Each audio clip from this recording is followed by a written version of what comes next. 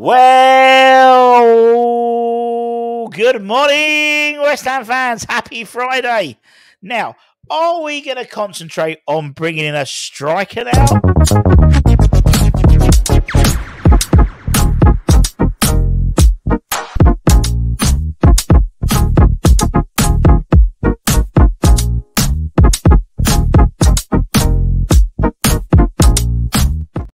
Yes, everybody, Russell and West Ham Network. Hope you're safe and well. Happy Friday. Well done. We've done another week, and obviously England tomorrow. But it could be Happy Kilman Day today. Obviously, the Sky Sports for Richard Romano all over the news news um, late sort of mid afternoon yesterday um, that we had a forty million pound in the region of forty million pound bid accepted uh, for the twenty seven year old Wolves captain Max Kilman, left footed centre half, homegrown Premier League experience, captain as well. Um, and apparently, the medical's already been done as well. Was done yesterday as well. Don't fucking anything about it, do we? But um, so he could be released. He, he could be announced today potentially. And if he is, as soon as we find out, we'll let you know. And uh, yeah, another one in the bag. You know, and I appreciate there's you know there's people going, oh, it's a lot of money. And I think he's probably about I reckon it's about ten about 10 million quid going rate. You know, I think what we spent on Kurt Zouma and again was about 30 odd million quid, weren't it? Um, he's about 10 million quid more.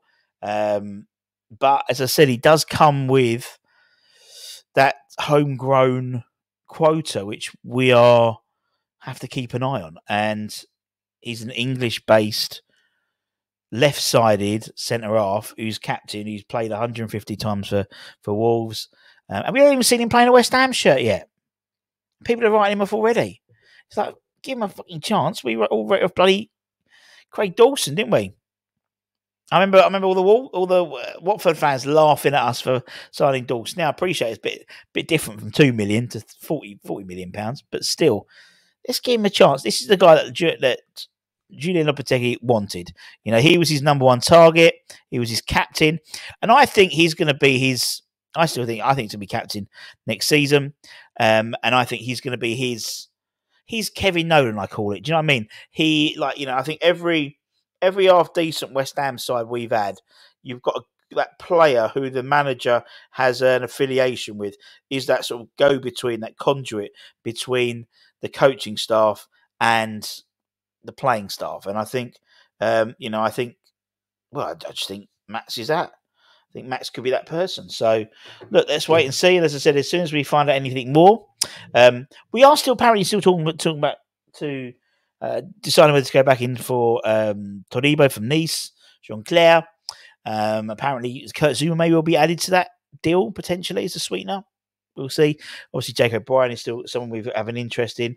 Um, I think if we did sell Aguerd, um, then um, one of them comes in we'll wait and see really. And then you got whole, the whole Kyle Walker Peters and Flynn Downes swap kind of thing.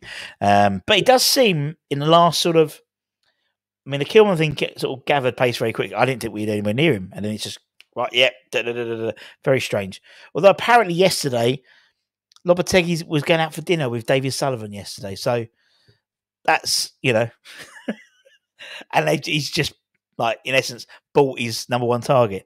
So you know when they're at Nando's together, sharing a probably sharing a, a wing roulette. Um, yeah, it's at least there's nothing to moan about. Well, there's something to moan about. But oh yeah, by the way, I did buy your best, you know, the play you really wanted. But it does seem strikers is a an area we're definitely looking at, and so um, we've been linked with quite a few, including this gentleman. Um, we just it's obviously very quick. He's just zoomed off. Um, according to Spanish media outlet AS, West Ham have found out it's going to cost us 32, 32.2 million pounds to activate the release clause of the Villarreal Norwegian striker Alexander Sørloth. Um, apparently, us and Roma have inquired about his availability, uh, and Villarreal made it clear that basically they don't need to sell, but obviously, if you pay 32.2, that's his release clause, and off he goes. Um, I mean, he scored 26 goals in all competitions uh, for Villarreal. Um, and he's actually quite a well travelled individual. Um, he's played in the Bundesliga. He's played in La Liga. He's played in the Belgian Pro League. He's played in the Danish Superliga. He's played in uh, the Eredivisie, and also he's played in the Premier League for Crystal Palace, albeit 16 appearances. Uh, no, so yeah, 16 appearances, uh, 20 appearances in total and one goal. But regardless of that fact, he has played in the Premier League already. He's got a career record of 368 games and 131 goals. as I said, 26 um, in all competitions for Villarreal yes, this season, 23 of them in La Liga. Um, we'll see. I mean, he finished the second, uh, La Liga's second highest goal scorer last season. Um, in a side who performed very similar to West Ham, really. They finished just outside the European places as well, just like us, um, albeit they had a, an early exit in the Europa League. They were one of the favourites, really, to, to progress. So, you know, it could be quite a smooth transition. Uh, for bringing in Alexander potentially, but that would obviously come with a price tag of over thirty million pounds. One alternative could be a guy we've spoken about before, Simon Banza. Great name. A Banza Bonanza. That's what the journalist will say when he scores four goals against Spurs um, in his in one of his games. According to Ojogo, love I love the names of these. Um, in their print edition yesterday, they said that West Ham are ready to make an improved bid of around 15 million pounds for the Braga hitman. Um, it's, I mean, the, not the, not the not not the not the fly in the ointment, but obviously Max Kilman's twenty seven, Simon Banza is twenty seven, but Simon Banza you're only paying fifteen million pounds. If it was thirty million pounds, forty million pounds, maybe, although that's quite hypocritical. I've just said that's well, I've said it's about ten million pounds too much for Max Kilman anyway. But um, apparently, uh, about fifteen million quid is what it's going to take to prize him away from Braga. Um, the Congolese striker uh, we've been linked to him all summer. We continue to. I think he's on paper. If anyone watches any of the uh, Liga NOS, um, he's a really good player, really good striker. He's he's six foot two. He's strong in the air very quick, likes running the channels, sounds a bit fucking familiar. Um, and he likes running the channels in order to sort of create more space in the midfield and um, for the wingers. So, you know, you can imagine the Kudus running into the space, Bowen running into space, etc., etc. Very good finisher. 21 goals in 28 league games for Braga last season, second only to um, Viktor, Viktor Gyökeres from. Uh, uh, the former Coventry striker in Sporting Lisbon in uh, Primeira Liga charts. Uh, he's six foot two, very built, perfect physique for the Premier League. Um, I, I think if we could get him for 15 million, I'll be very happy. I really would be very happy. Yes, he hasn't got any necessarily Premier League experience, but to be honest, we're looking at spending 50, like, you know, 20 million, whatever it was, 15, 20 million for bloody Sergio Grace, who has scored roughly the same. Um, obviously, he went to Dortmund. He's gone to Dortmund? Not yet, but I think he will be going to Dortmund. So I think it could be a bonanza. And I think it's not a bad deal.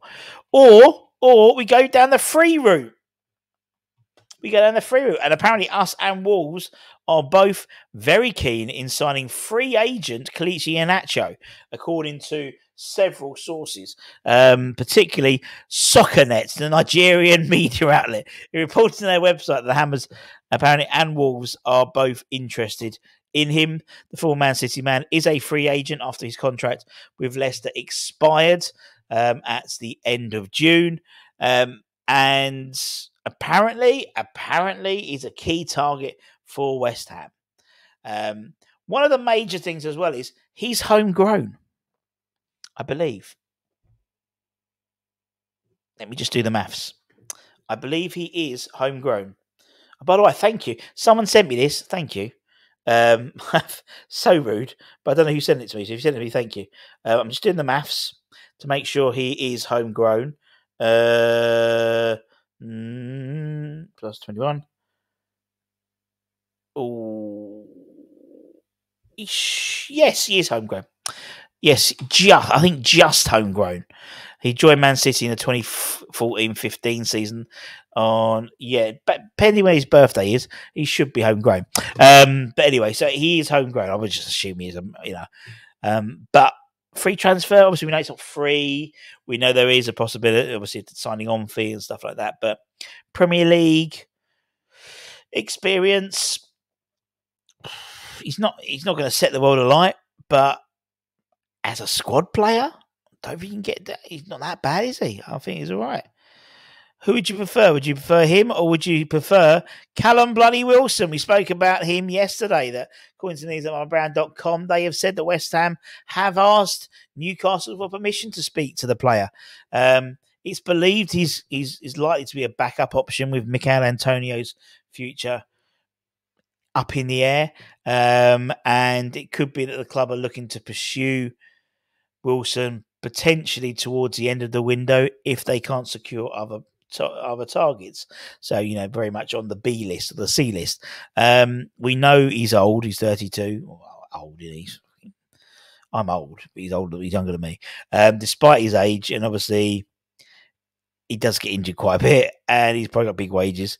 He has a very, you know, he's very clinical, and so argue more clinical than Michail Antonio, for example. Uh, and obviously, we do have a long history of him. Um, so it seems surely that a transfer is somewhat overdue at West Ham. Um, he's a he, he's a typical. I think he's quite a typical West Ham player in the best and worst ways imaginable. To be honest, um, he's a bastard, but he'll be our bastard. Um, but clinical in goal and as a backup, again, I don't think it, it, all comes down to money. Really, it comes down to his wages and it comes down to how much Newcastle want to sell him for. Um, he's very much not in their plans. Obviously, he was a bit part player last year as well with Alex Alexander Isak. But then, to be honest, most strikers would have been in terms of Isak. He's a bloody good player.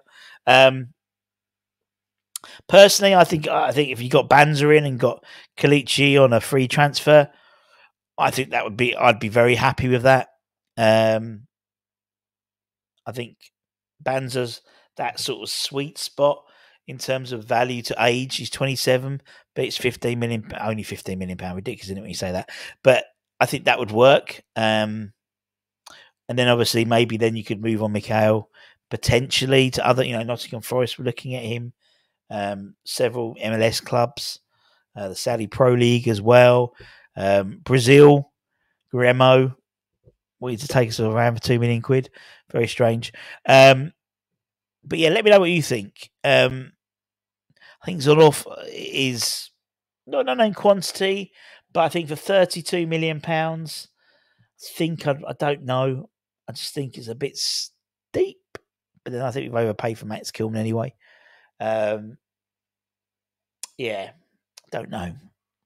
I don't know to be honest, but I think I've always I've always quite liked Banza as an option. I just think he's very. Let's get bloody Callum Wilson off the show. Um, I just think he's he's always been very good. Oh, he's still he's still there. Um, I actually quite think he's a very good player, and 15 million. I think you get. What's his goal? Let's have a look at his goal scoring record. Let's have a quick quick. Let's have a quick butcher's look at his scoring record. Um, he's played 300 games, just over 300 games, 100 goals. Um, yeah, he said, I mean, to be fair, looking at his numbers, maybe 20, you know, for being subjective, maybe last season, a bit of a purple patch. Um, I mean, to be honest, maybe he's not the right answer. Maybe looking at him now, um, I mean, from 2017 13 goals, 14 goals, 11 goals. Oh, sorry, 18, 17, 14, then 23. Maybe. I mean, he's consistently over 10 goals, can, you know, almost consistently for the last four years over. Um, although, where's he been then? There's, a bit of a gap there. Not too sure. Oh, did go to? Oh, I went to Lens. Oh, okay ignore me. I'm sorry, ignore me. Anyway, let me know in the comments below. We're back for Hammers headlines, daily shows, and also any breaking news if we do sign Max Kilman today. Uh, anyway, until next time, take care, stay safe, stay warm, stay humble. Don't forget to give it a like, comment, share, subscribe, all that good stuff. Have a great Friday. I'm going to go out for a curry with the boys tonight. Looking forward to that. And England tomorrow. if you're again, you know, th- I just want to just give a little shout out to Alloy Collectors. Keep an eye on our channel, social media channels, Twitter or X, uh, Instagram, TikTok, Facebook, YouTube. Just keep an eye on them if you're in the East, East London area and you want one of these. That's all I'm saying. Much love. See you soon. Bye bye.